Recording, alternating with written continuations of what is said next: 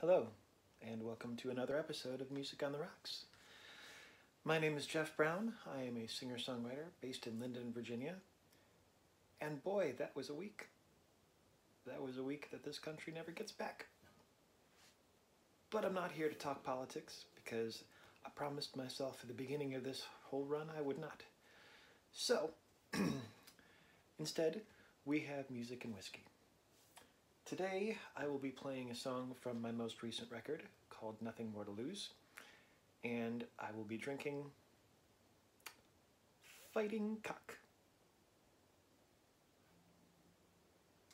So, Nothing More to Lose was the opening track for side B of my record, and here we go.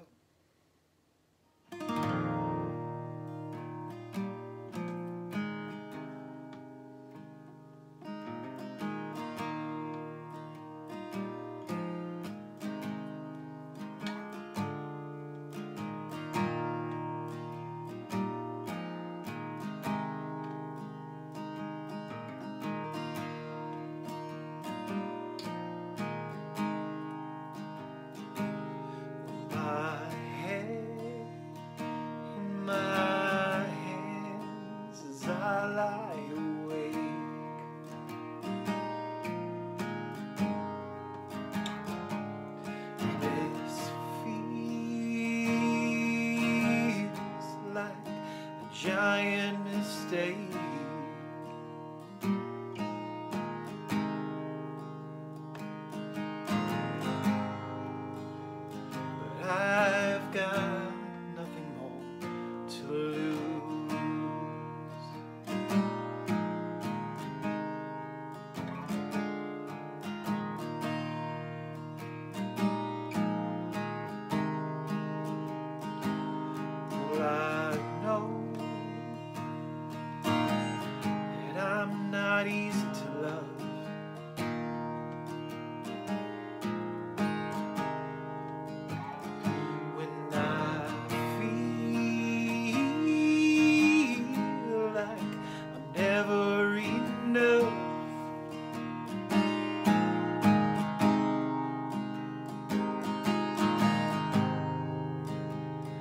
I've got nothing more to lose. No, I've got nothing more to lose. I've got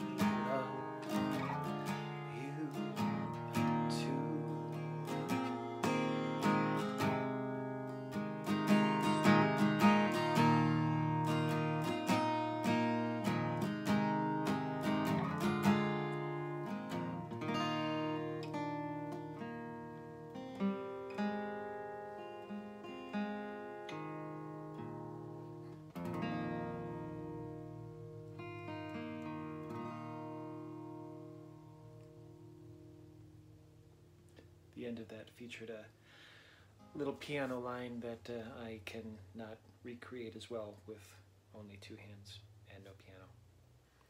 But I do what I can. That was Nothing More to Lose.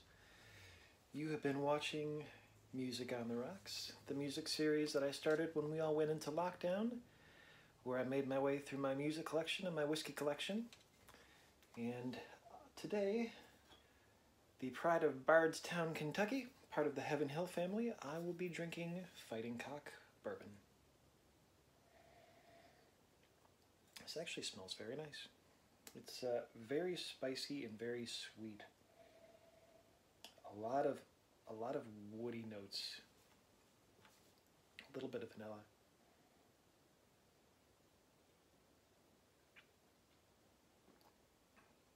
Ooh.